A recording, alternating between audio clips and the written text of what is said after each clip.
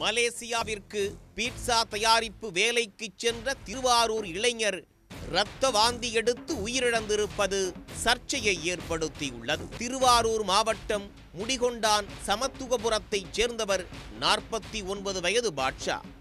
இவரது ஒரே மகன் இருபத்தி ஐந்து வயது பஷீர் அகமது. இவர் ஹோட்டல் மேனேஜ்மெண்ட் படித்து பட்டம் பெற்றவர் ஆவார்.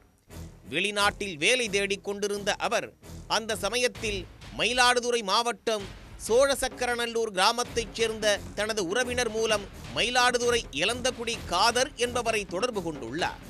அப்போது காதர் மூலம் மலேசியாவில் உள்ள அவரது ஹோட்டலுக்கு வேலைக்கு சென்றிருக்கிறார் பஷீர் அகமது. ஐந்து வருட ஒப்பந்த அடிப்படையில் அவர் வேலைக்கு சென்றதாக கூறப்படுகிறது. மலேசியாவின் மெடார்மேறு பகுதியில் காதருக்கு சொந்தமான நிறுவனத்தில் பீட்சா தயாரிக்கும் பணியில் பஷீர் அகமது ஈடுபடுத்தப்பட்டார். தினமும் பதினாறு மணி நேரம் வேலை வாங்கியதாகவும் சரியான சாப்பாடு கிடைக்காத காரணத்தாலும் அவரது உடல்நிலை பாதிக்கப்பட்டது.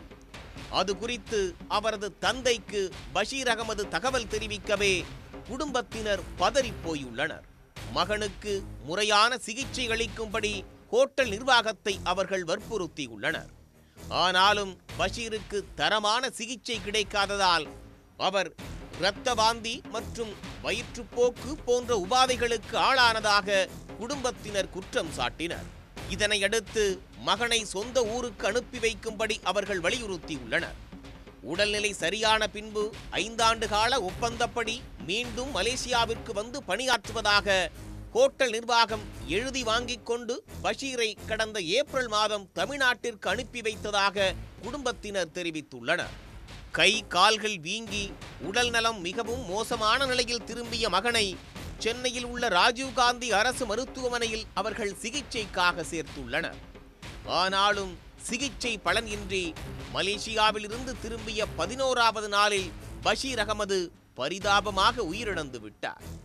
தமது மகனை மலேசிய ஹோட்டலில் கொத்தடிமை போல நடத்தியதே உயிரிழப்புக்கு காரணம் என தந்தை பாட்ஷா குற்றம் சாட்டியுள்ளார். எட்டாவது மாதம் போனாப்புல. இருபத்தி ரெண்டாயிரத்தி இருபத்தி ரெண்டு எட்டாவது மாதம் போனாப்புல பதினெட்டாம் தேதி. ஆனால் போய் ஒரு ஆறு மாதத்தில் உடம்பு ஜனவரி அஞ்சாம் தேதி எனக்கு ஃபோன் பண்ணி கால் வீங்கிருக்கு ஜுரமாகுது வயிற்றில் டிசென்ட்ரியாக போகுது ரத்த ரத்தமாக வருது. எனக்கு ஹாஸ்பிட்டல் அழைச்சிட்டு போக மாட்டாங்க ரூமில் போட்டு வச்சுக்கிட்டு வேலை மட்டும் தான் வாங்குறேன். பதினாறு மணி நேரம் வேலை வாங்குறாங்க. காலையிலேருந்து மாலை வரைக்கும் சாப்பிட கூட இல்லை தூங்க கூட முடியல.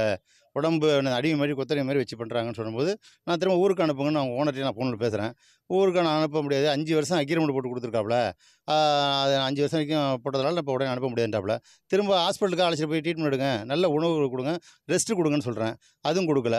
இந்த நூற்றி பத்து நாளில் மூணு மாதம் மூன்றரை மாதம் நாலு மாதம் ஆகிடுது இதில் ரெண்டே ரெண்டு ப்ளட் டெஸ்ட் மட்டும் எடுத்துருக்காங்க எடுத்து ஒரு கிட்டத்தட்ட நூற்றி பத்து நாளுக்கு அப்புறம் நான் ஃபோன் பண்ணி டார்ச்சர் பண்ணதுக்கப்புறம் இங்கே எங்கெல்லாம் யார் மூலியமாக நான் அனுப்பினா அவங்கள்ட்ட ஃபோன் பண்ணி சொன்னதுக்கப்புறம் கடைசி கட்டமாக இறந்துருவான் அங்கே இருந்தால் இறந்துருவான்னு தெரிஞ்சுக்கிட்டு அப்புறமா இங்கே ஏர்போர்ட்டுக்கு அதுக்கப்புறம் நான் பேசின பத்து நாள் சென்று அனுப்பி விட்றாப்புல மகன் மரணத்துக்கு மலேசிய ஹோட்டல் நிர்வாகமே காரணம் என புகார் தெரிவிக்கப்பட்டது. அதன் பேரில் போலீசார் சந்தேக மரணம் என்ற பிரிவில் வழக்கு பதிவு செய்துள்ளனர். மகனை மலேசியாவிற்கு அனுப்பி வைத்த காதர் மீது சந்தேகம் எழுப்பதால் அவர் மீது நடவடிக்கை எடுக்கும்படி மயிலாடுதுறை மாவட்ட ஆட்சியர் மற்றும் காவல் கண்காணிப்பாளர் அலுவலகத்தில் புகார் அளிக்கப்பட்டுள்ளது. பாட்ஷா அவர்களுடைய மகனுடைய இறப்பு ஏற்பட்டவுடன் ராஜீவ்காந்தி அரசு பொது மருத்துவமனையின் பிணக்கூராய்வு அறிக்கை மற்றும் முதல் தகவல் அறிக்கையை அவர் கேட்டு வாங்கியிருக்கிறார்.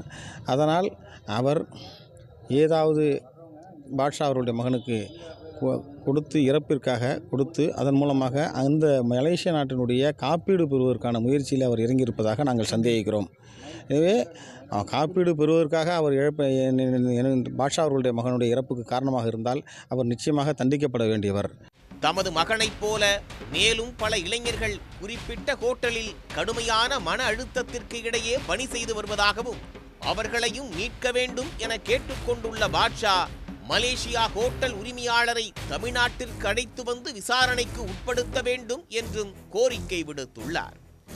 மலேசியா ஹோட்டலில் பீட்சா தயாரிக்கும் பணியில் ஈடுபட்ட திருவாரூர் மாவட்ட இளைஞர் உடல் நலம் பாதிக்கப்பட்ட நிலையில் சொந்த ஊரில் வந்து உயிரிழந்த விவகாரம் சர்ச்சையை ஏற்படுத்தியுள்ளது. உடனுக்குடன் செய்திகளை தெரிந்து கொள்ள சன் நியூஸ் பெல் ஐகானை கிளிக் பண்ணுங்க.